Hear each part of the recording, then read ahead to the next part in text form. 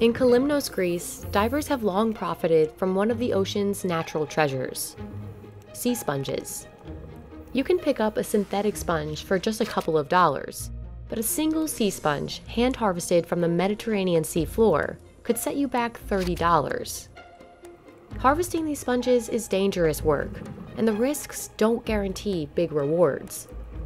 Sponges used to be plentiful in the Mediterranean, but these days they're hard to find, and it's making this already difficult job harder. So, what's happening to the sponges here? And is this what's making them so expensive? Synthetic sponges, like the ones commonly used to wash dishes, are cheap, and that makes them popular. But natural sea sponges have been used for centuries, and they're still essential for pottery, painting, and even as a surgical tool. But to get your hands on a sponge like this, a diver first had to hand harvest it from the sea floor. High quality commercial sea sponges are found in select regions, including off the coast of Florida and the Caribbean Sea. The most valuable ones are largely found here in the Mediterranean. But they're not so easy to come by, and it means the dangerous effort to find them isn't always worthwhile. One of the most dangerous parts of harvesting sponges happens at the end of a dive. Although it's less common now, the most common injury divers face is decompression sickness. This happens when divers transfer from a high pressure environment to a low pressure environment too quickly. Nitrogen builds up in a diver's body as they go deeper underwater, and the body needs time to release this nitrogen before reaching the surface. Otherwise, divers risk hurting parts of their body, or worse. Αν είναι κεφάλι, να πεθάνει από εγκεφαλικό, αν είναι στην καρδιά από καρδιά ή να μείνει στην καλύτερη των περιπτώσεων παράλυτος εφόσον αυτή η φυσαλίδα μπλοκάρει ένα, μια αρτηρία που πάει χέρι, πόδι κτλ. Not only is this one of the biggest risks, but it's also more time consuming than the dive itself.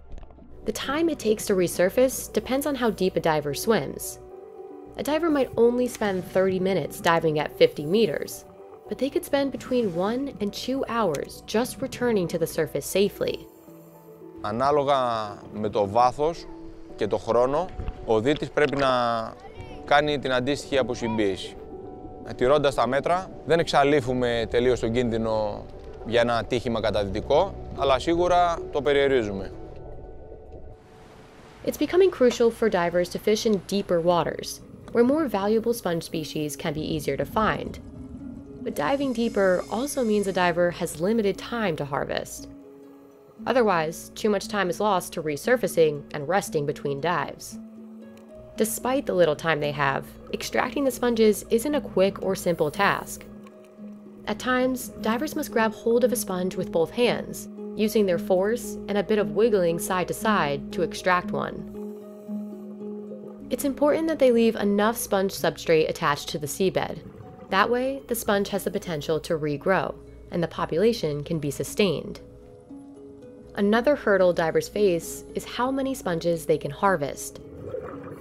In shallow waters, divers can harvest only as many sponges as they can carry.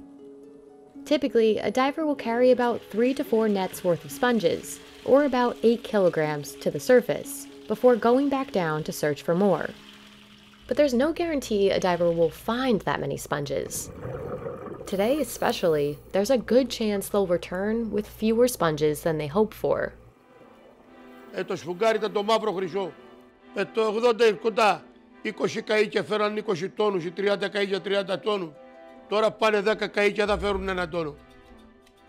There are likely a few factors causing this decline. Τώρα που με αυτές τις παραξενάδες του βυθού της φύσης έχει επηρεάσει το βυθό. Antonis Kamparakis spent 50 years diving for sponges. He believes the climate crisis is one major cause of the declining population. The other main issues are likely waste and disease. Να, το σφουγγάρι, όσες τρύπες έχει, τόσους μικροοργανισμούς έχει μέσα. Είναι τόσο λεπτοί λοιπόν οι οργανισμοί που όταν πάει να μου με οτιδήποτε βρώμικο πράγμα, θα ψοφήσουν λοιπόν τα, οι οργανισμοί αυτοί και ψοφάει και το σφουγγάρι. Κατάλαβε. Sponges used to be known as soft gold in Greece. They thrived in these warm waters, which is why the Greek islands, and especially Kalymnos, have historically been a center for sponge fishing. But the dangerous nature of this work and the lack of sponges in the sea make it difficult to find divers who want to do the job. Compared to the hundreds in the 60s, only about 30 to 40 people still dive for sponges in Kalymnos today and this is actually one of the reasons the prices of some sponges have gotten so high.